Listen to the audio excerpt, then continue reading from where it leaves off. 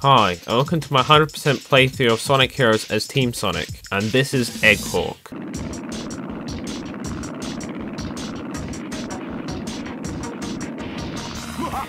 Stop your futile efforts. You just make fools of yourself. Hmm, I think you got that backwards, Doc. Oh no, there's Dr. Eggman. So the goal for an A rank is to complete this, to defeat the Egghawk within one minute.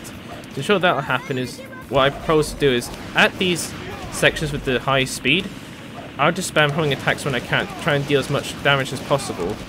But then when he stops, I would switch to Knuckles, because he deals the most damage. The reason why I insist on doing that is because only Sonic can catch up with the Egghawk at this phase. So I'm just going to keep spamming attacks until the HP drops to zero. And that's that. You don't need to do the take out the rotor blades. It only slows you down. So yeah, that's my only tip. Don't take out the rotor blades or the egg pawns because you only waste time doing that. And time is so precious. Because that's all you get judged on in this um, stage. Ready for the junk pile. So yeah, that was Egghawk. A very short stage because, well, in order to achieve A rank, you need to do it in a minute. So I guess that's that.